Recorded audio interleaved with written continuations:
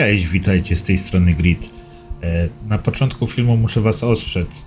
E, Będzie tu sporo spoilerów odnośnie gry, mniejszych, większych, także tych endgame'owych, więc jeżeli ktoś wolałby takowych uniknąć, to tutaj gdzieś u góry podeślę Wam e, link do filmu Michaela. Jeżeli by mi się nie udało go wkleić, no to link będzie w opisie. Michael tam bardzo fajnie wyjaśnia mechanikę gry, nie spoilerując za dużo. No ja tutaj postanowiłem pójść po bandzie ze spoilerami, ponieważ czuję się oszukany. Oszukany generalnie i okradziony z czasu, który poświęciłem na tą grę. Dobrych 200 godzin, które spędziłem mm, przy pierwszej rozgrywce. Może zaczniemy sobie właśnie od tych 200 godzin, czyli było to kolekcjonowanie przedmiotów, które później miałem zamiar sobie gdzieś tam zrobić wystawkę, tak? Jakieś manekiny, jakieś stojaki na broń i tak dalej.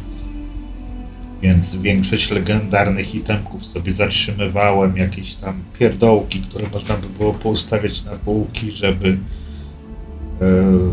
umeblować nasz przyszły dom. Kolekcjonowałem bronie, które mi się spodobały, które mi wpadły w oko. To samo ze statkami. Budowa statków, budowa placówek, budowa połączeń tych placówek. Generalnie te wszystkie elementy, które w tej chwili wymieniłem, zajęły mi około 200 godzin. Czemu powiedziałem, że czuję się okradziony? Ponieważ y, rozpoczynając NG, któreś pierwsze, drugie, trzecie czy dziesiąte, to wszystko tracimy. W ogóle co to jest NG? No, NG, nowa gra. Po przejściu głównej misji fabularnej mamy możliwość rozpoczęcia nowej gry w nowym wszechświecie, tracąc wszystko. Tracimy wszystkie swoje przedmioty, tracimy wszystkie swoje posterunki, wszystkie swoje statki, wszystkie pieniądze, broń. Nawet zeskanowane planety przestają być zeskanowane. Także to wszystko, co budowałem, zostało mi odebrane w pewnym sensie. Czemu, czemu czu, czuję żal? Nie zostałem o tym poinformowany zaczynając grę. E, Gdybym wiedział o tym od początku gry, zapewne rozpocząłbym to troszeczkę inaczej. Może bym mm, zrobił tylko fabułę główną. A ja zacząłem od mi- misji pobocznych, na których mi troszeczkę zeszło, na misjach gildyjnych, yy, które też no, swój czas zabierają. Teraz okazuje się, że przechodząc do kolejnego wszechświata zaczynamy praktycznie od zera. Jedyne co mamy to mamy nasze umiejętności, które udało nam się w poprzednim uniwersum yy, wypracować. Mamy to i moce, które zdobyliśmy. Tutaj jeszcze a propos mocy yy, chciałbym wspomnieć. Przy każdorazowym przejściu gry można zdobyć yy, wszystkie 24 moce. Yy, nie słuchajcie, jeżeli ktoś twierdzi inaczej. Albo jest to błąd, albo jest to specjalne zagranie ze strony twórców, nie wiem, ciężko mi tutaj powiedzieć. Dostajemy od w- Władimira współrzędne świątyń, tak? Współrzędne świątyń, które później odwiedzamy, zdobywając moce. W pewnym momencie to się urywa, no i powoli zbliżamy się do końca fabuły. Kiedy już zakończymy całą fabułę, kiedy się pożegnamy z przyjaciółmi i chcemy odlecieć w siną dal, podejdźcie ponownie do Władimira. Okaże się, że zaczyna wam dawać kolejne współrzędne. Ja otrzymałem ze, jakby w pierwszym pakiecie tych współrzędnych 14, także zdobyłem 14 mocy. A po zakończeniu całej fabuły, kiedy już mogłem skoczyć do kolejnego uniwersum, mm, otrzymałem ich jeszcze 10. Nie wiem, tak jak mówiłem, czy jest to jakiś błąd, że on w pewnym momencie po prostu przestaje dawać te questy, ale chłop się odblokowuje w momencie skończenia głównej linii fabularnej. Także jeżeli ktoś chciałby zrobić grę na 100%, będzie musiał z nim zagadać. Sprawa druga. Jak grać? Cholera, powiem wam, że nie wiem. Naprawdę chciałbym wiedzieć, ale nie wiem, ponieważ jeżeli zrobimy grę na te 99%, czyli bez zdobycia mocy, tak? Yy, bez wymaksowania w zasadzie mocy, bo zdobyć możemy wszystkie, ale nie wymaksujemy ich. Za pierwszym podejściem do gry nie wiem, czy jest sens je przechodzić, je, ją przechodzić kolejne 10 razy, ponieważ trzeba 10 razy przejść yy, całą grę, żeby wymaksować wszystkie 24 moce na 10 poziom.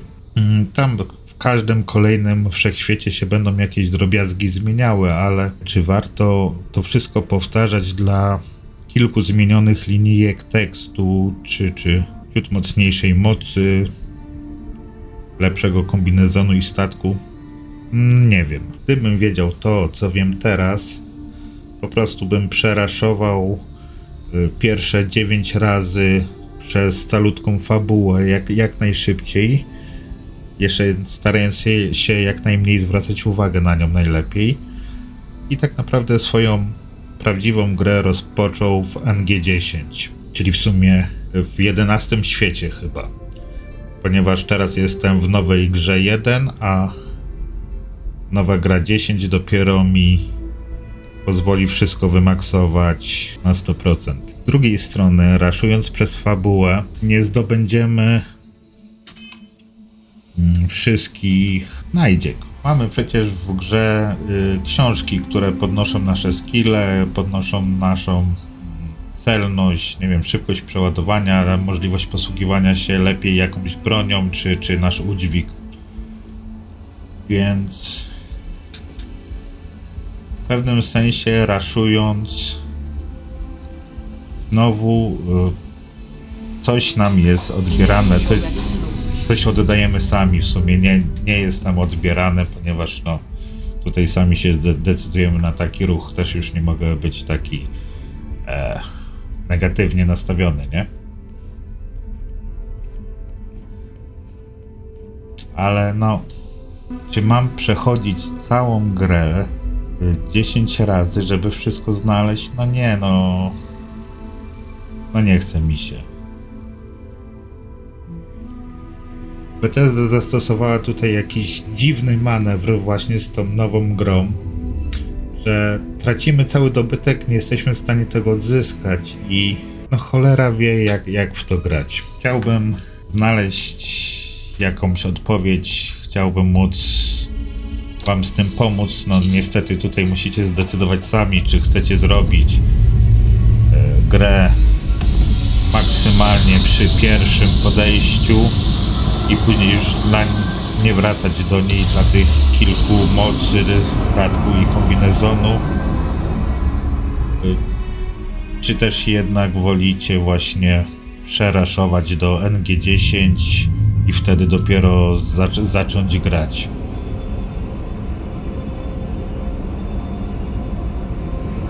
Nie wiem, myślę, myślę, że sami twórcy tutaj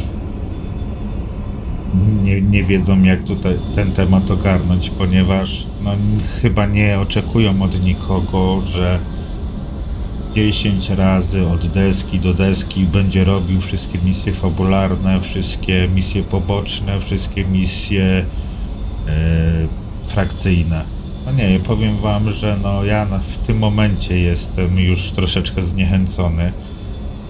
Jak pomyślę, że tyle energii włożyłem w pierwsze przejście, tyle czasu poszło się rypać.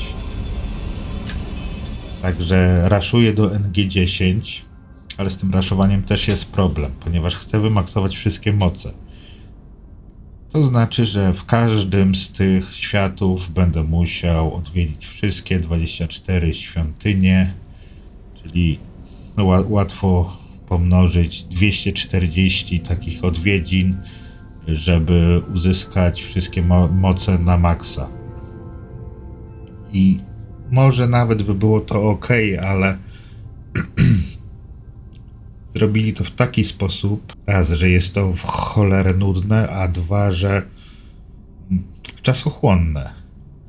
Ponieważ nie można wziąć wszystkich koordynatów świątyń od Wladimira i sobie pooblatywać je i pozbierać moce. Bierzesz jeden namiar na jedną świątynię, lecisz do tej świątyni, zdobywasz tą moc, masz cutscenkę, którą musisz obejrzeć. Wtedy wsiadasz z powrotem do statku, lecisz znowu do Wladimira. Po drugie, współrzędne świątyni, lecisz z powrotem do świątyni i tak 240 razy.